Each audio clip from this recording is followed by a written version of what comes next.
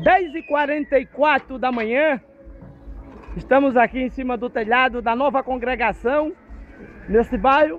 E aqui está o nosso irmão Alex, o diácono irmão Alex, o nosso pedreiro da obra, das todas as igrejas. É ele que é o responsável da construção. E está também aqui o nosso o levita, irmão Carlinhos, também é o responsável pedreiro das congregações da Igreja Tabernáculo de Cristo. Quero dizer a todos vocês que isso é o que Deus vai fazer e continua fazendo e agradecemos por tudo que Ele tem dado para nós. Eu não apareço porque eu não posso, mas os pedreiros aparecem porque eles são responsáveis da construção da igreja. E ali está lá na frente o nosso pastor Antovaldo, que é o chefe da obra de Deus entregada nas mãos dele. Isso nós agradecemos, meu Senhor. Obrigado. Amém.